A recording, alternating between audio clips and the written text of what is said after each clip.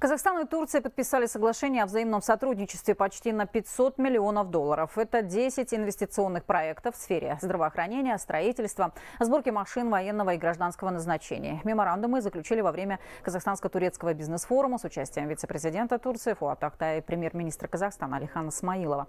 К слову, на данный момент в нашей стране уже реализуют совместные с Турцией инвестпроекты на сумму более 5 миллиардов долларов. В такой сложный период, как сейчас, мы придали особое значение дальнейшему развитию торгово-экономических связей. Объем двусторонней торговли в 2021 году вырос на 33% и составил 4 миллиарда долларов. В условиях пандемии это очень хороший показатель, однако не стоит на этом останавливаться. У стран есть хороший потенциал. Для нас Казахстан братская и дружественная страна. У нас общая культура, схожие традиции. Это значительно сближает народы, соответственно и горизонты сотрудничества. Мы внимательно следим за реформами в вашей стране и всегда рады вашим успехам.